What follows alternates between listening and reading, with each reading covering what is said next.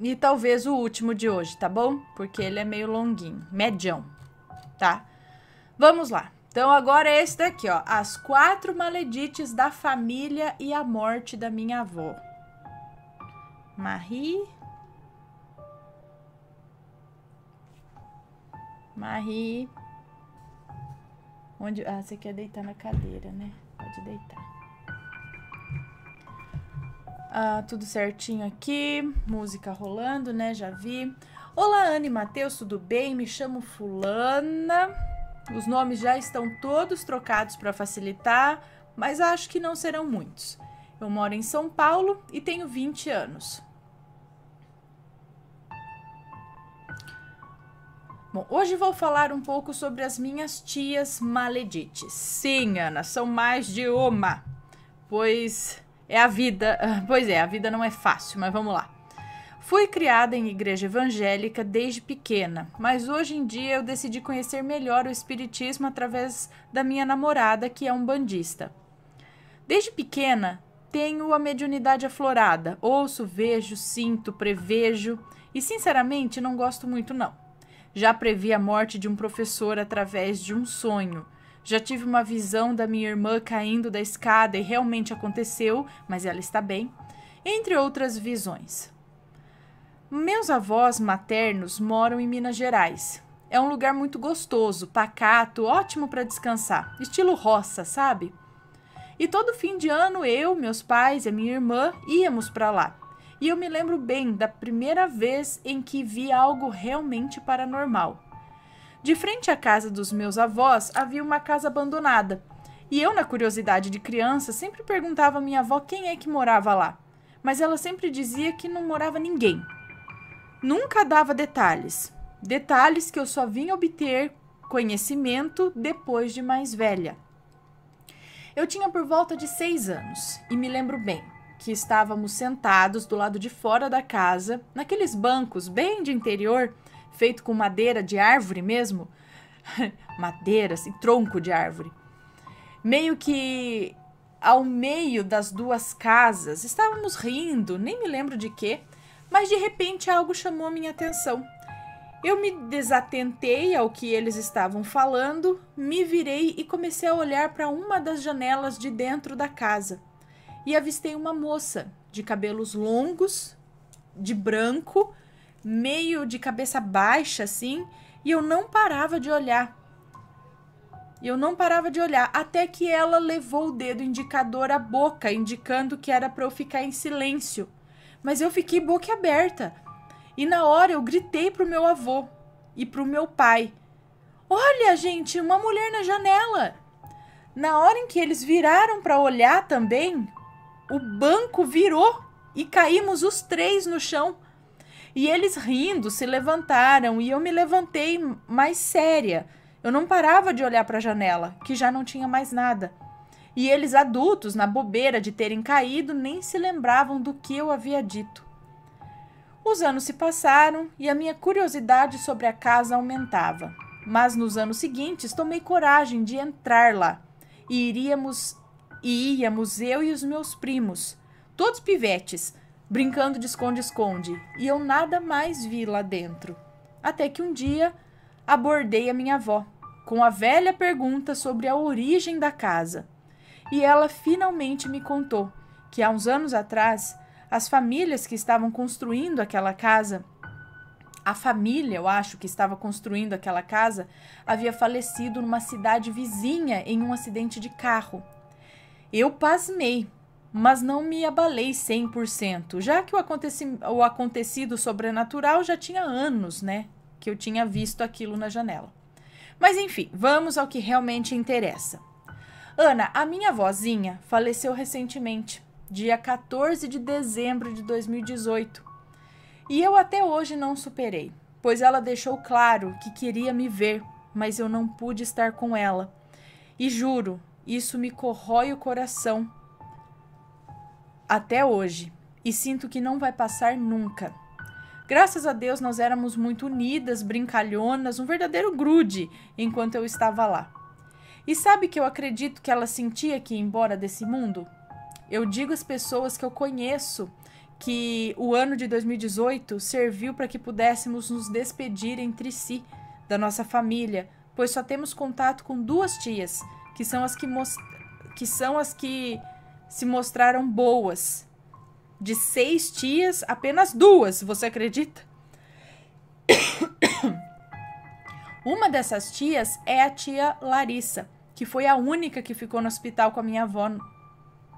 Que é a única que ficou no hospital com a minha avó nos últimos dias de vida dela. E a minha avó com 11 filhos, apenas uma ficou ao lado dela. A minha mãe também ajudou e fez muito pela minha vozinha. Só não fez mais porque não estava perto dela, já que moramos em São Paulo. Bom, Ana, nossa família estava com sérios problemas espirituais, entre coisas mandadas por outros, inveja e outras coisas. Então começou a busca por um cuidado espiritual em centros espíritas, que a maioria só deu errado. Só, só se foi encontrado só foi encontrado pessoas que fizeram ainda mais mal para nos arrancar dinheiro. Mas desses aí Deus já cuidou e tem cuidado, pois até onde eu sei, dois dos procurados para nos ajudar estão no poço. É aquele ditado: a justiça divina tarda, mas não falha. Nessa de procurar os ajudantes espirituais, a bagunça na família foi feita, a discórdia plantada, e hoje tá o que tá. E assim, as que procuraram ajuda mesmo para a família e para si foram as minhas tias Gleice, tia Larissa e a minha mãe. Minha tia Gleice e a tia Larissa estavam com a saúde bem prejudicada, graças a uma mulher que não ia muito com a cara delas e estava mexendo com coisa pesada mesmo. A minha tia Larissa era a que mais relatava os incômodos, que a fazia perder noites de sono, perder a fome e inclusive a vontade de viver. Ela dizia ver vultos atrás dela, luzes, pensamentos dizendo para ela tirar a vida, entre outras coisas. Já a tia Gleice estava com coisas estranhas aparecendo pelo corpo, como se fossem tumores. Inclusive, ela não conseguia nem se alimentar também por conta do que cresceu na garganta dela. Foram idas e vindas a hospitais, tá? Para não para não dizer que era coisa da cabeça delas, etc. E o diagnóstico já era o de se esperar. Nada. Minhas tias, Maledite, minhas tias Maledite, Cleo, Gleice, Denise e Andréia se uniram para dizer que a minha avó, a própria mãe delas, foi morta por obra de bruxaria. A própria mãe delas. E trataram de dizer que a culpa foi de quem foi pisar em chão de casa espírita. Claro que não usaram esse termo que usei para dizer isso. Na verdade, a baixaria foi a grande, tá? Pois não estava certo ela morrer do nada. Ana, minha vozinha estava muito doente. E somente nós, que sempre nos preocupamos com ela, sabíamos disso. Porque elas não a procuravam, se não houvesse o interesse de ajuda ou qualquer outra coisa. Bom, Ana, resumindo, a minha tia Gleice fez trabalhos e trabalhos para a morte para minha tia Larissa, para minha mãe, para o próprio marido, pois ela tem ou tinha um amante, se é que ainda tem, sei lá, para mim fez trabalho também para mim e para mais outras pessoas, que segundo ela atrapalha a vida dela. E nós descobrimos. Em, e nós descobrimos em um ilê sério de verdade. E ela ainda teve e tem coragem de mandar recados, entre outras mensagens, ameaçando, falando que Deus, falando de Deus, etc. Ou seja, depois de toda toda uh, tudo de errado feito, ela quer tirar o corpo dela da reta. Quer dizer que não fez nada e que somos nós os culpados. Claro, tudo depois de descobrir a verdade sobre tudo isso, enquanto as outras três maledites estão apoiando ela, pois são farinha do mesmo saco. Aprontaram horrores com a minha vozinha e minha avó faleceu esperando um dinheiro que a tia Cleo ficou devendo a ela e nunca teve a moral de pagar mas tem cara para dizer que é evangélica, que a família está na casa de Deus, mandando mensagens nojentas com palavras de baixo calão, na finalidade de ofender a quem não fez maldade de verdade. Mas enfim, Finalizando, eu estava na casa da minha avó, ainda na missa do sétimo dia dela, e não é por mal, mas eu nunca havia pisado sequer em uma igreja católica. Não é preconceito nem nada, eu só não tive uma oportunidade. E eu fui, Ana, à missa. Rezei por ela, fiquei com o pensamento aberto nela o tempo todo e pedia muito para Deus cuidar dela com carinho. Ao voltar para casa dela, eu até esqueci de todo o ocorrido da igreja e estava neutra. Cheguei, fiquei no celular um pouco, até que me deu sede. E eu fui até a geladeira buscar minha garrafa d'água, pois não tenho mais o costume de beber água em copo e sim uma garrafa individual. Eu sei que me abaixei para procurar, pois ela já não estava onde eu havia deixado, e eu estava lá procurando até que senti um aperto no peito. E em seguida ouvi exatamente assim, Ana, nitidamente eu ouvi. Obrigada, viu? E era a voz dela, do jeitinho que ela falava. Ana, eu não aguentei. Até me esqueci da água. Olhei para trás na hora. Olhei para trás na hora em que eu ouvi, e eu juro que eu não senti medo, mas me acabei no choro como um bebê. Aquilo me encheu de saudades e eu lembrei que em todos os anos em que íamos, assim que chegávamos lá, o taxista buzinava e ela vinha mais que correndo para nos abraçar numa felicidade única. Aquele ano eu cheguei lá e ela não veio. Tudo o que tinha naquela casa era saudades e um imenso vazio. No ano de 2018, quando nós estávamos lá, a minha namorada falava muito com a minha avó por ligação e a minha avó queria muito conhecê-la. A chamava de minha neta emprestada. Claro que a vozinha não sabia que ela é minha namorada, mas elas se deram muito bem. No dia 15 de dezembro de 2018, no dia seguinte do falecimento dela, estávamos nós aqui correndo, arrumando malas para irmos até lá, até que a minha namorada me ligou três vezes insistentemente, até que eu atendi e ela estava meio tensa. E eu notei, já perguntando o que tinha acontecido, e ela me relatou que, em meio ao calor que estava, ela foi lavar o cabelo no tanque de cabeça baixa e ela disse que começou a sentir uma quentura atrás dela. Mas ela não deu atenção, pois achou que o calor só tinha aumentado. Aí ela disse que o calor saiu de trás dela e meio que foi pro lado dela. E ela ouviu: Deus abençoe, num tom calmo e feminino. Nós aqui em casa temos o costume de cumprimentar os mais velhos pedindo benção, principalmente aos avós e tios. Na hora ela levantou a cabeça assustada, batendo, bateu até a cabeça na torneira do tanque, cheia de shampoo, e correu para me ligar, dizendo o que havia acontecido.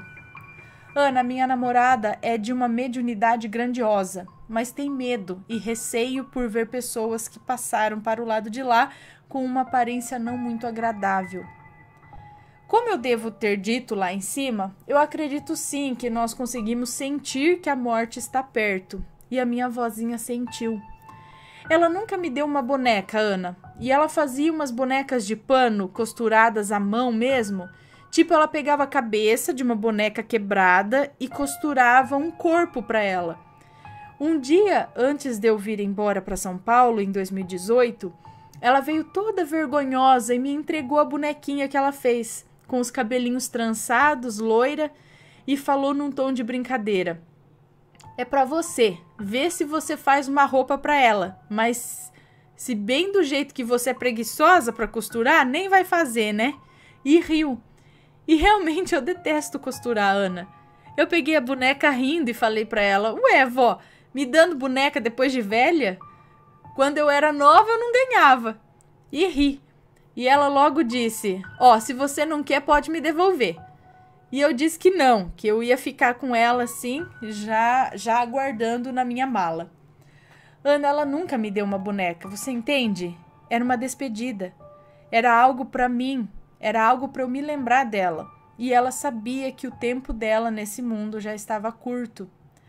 A minha vozinha faleceu sabendo bem quem eram os filhos dela, de verdade, sabendo de toda a palhaçada que estava acontecendo entre elas e temos para nós que, além de não estar bem de saúde, o que ajudou ela a partir mais rápido foi o desgosto de ver o inferno que as filhas criaram, sabe?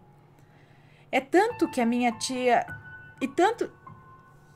É tanto que a minha tia Larissa disse que ela estava normal no caixão antes de chegar as pessoas até lá para velarem ela. Sim, lá ainda se possui esse costume de velar em casa, mas há a opção de velar na igreja também. Ela possuía um semblante sereno, como se apenas dormisse, até que chegou três das quatro maledites e estavam na porta da sala observando a minha vozinha e conversando entre si. E a minha tia Larissa reparou que o semblante dela mudou na hora para um rosto sério, franzido, como se a presença delas não a agradasse. E assim que elas saíram da beirada do caixão, a minha tia disse que a serenidade a possuiu novamente. E eu acredito sim que ela não tenha ficado contente com elas, pois morando perto da minha avó, nunca se movimentavam para poder sequer fazer uma visita a ela. E ela faleceu com essa tristeza em seu coração. Ana, na mesma noite em que eu dormi no quarto, que sempre fico lá, eu deixei a porta encostada e fiquei no celular falando com a minha namorada via WhatsApp. Até que eu vi nitidamente uma sombra azul passando, como se fosse mesmo uma pessoa passando. Mas não foi rápido, eu diria até que foi lento. Mas assim que eu vi, eu levantei correndo para ver quem era. E Ana, estavam todos dormindo. Acredite, eu chequei. Fui no quarto onde a tia Larissa e a minha mãe estavam e ambas se encontravam roncando. Meu tio, que dorme no quarto de frente ao meu, estava capotado e roncando alto. E o meu avô, no quarto ao lado, no mesmo grupo do ronco. Ou seja, só tava eu acordada. Eu voltei bem rápido para minha cama e dessa vez eu fechei a porta e mal preguei os olhos naquela noite. Eu afirmo que não foi uma impressão, pois eu estava tão solta, distraída, não era ela que estava nos meus pensamentos naquele momento. Olha, Ana, eu já sonhei com ela diversas vezes, mas eu nunca consigo lembrar dos sonhos. E olha que eu sou a louca dos sonhos. Quando é mais diferente, eu anoto para tentar decifrar mas os meus sonhos com ela eu não consigo por nada nesse mundo. No dia do falecimento dela, minha irmã disse que sonhou com ela, entrando num paraíso, bem feliz. É como se ela estivesse fazendo a passagem dela desse mundo para o outro. Até onde eu me lembro, a, a última coisa sobrenatural que ocorreu referente a ela foi o meu tio, que mora ainda na casa da minha avó, que é alcoólatra. Disse que tinha saído do banho e começou a falar com ela. E a minha tia Larissa, assustada, perguntou com quem que ele estava falando. E ele começou a chorar, perguntando se ela não tinha visto o que ele viu. E ela ficou emocionada também, mesmo sabendo que ele estava embriagado. Ele tem um problema com álcool desde sempre, e a minha avó até que cortou um dobrado com ele, pois ele fica bem chato bêbado. Quem é que fica legal, né? Então ela passava muito nervoso, tanto com ele quanto com meu avô, que também nunca foi flor que se cheire. Eu juro que me arrepiei muito ao escrever esse relato. Come eh, comecei a escrever onze e meia da noite e já são duas e treze da manhã. E eu aqui. Estava super concentrada. Ana, agradeço a oportunidade, peço desculpa se tiver ficado um pouco extenso, desculpa se ficou algum erro, eu revisei, mas nem sempre fica 100%. Dê um beijo nos bebês, que Deus abençoe essa família linda que vocês têm. Sou uma fã de carteirinha do canal, viciada, acompanho desde o relato das velas dentro do baú. Fiquem com Deus, um beijo. Um beijo para você, muito obrigada pela história. Então as maledites aí são as tias, é isso? Que loucura, gente. Povo doido, né? Meio doido. Bom. Mas apesar de tudo, ela foi bem. É isso. Muito bem. Deixa eu dar então aqui os últimos beijinhos no pessoal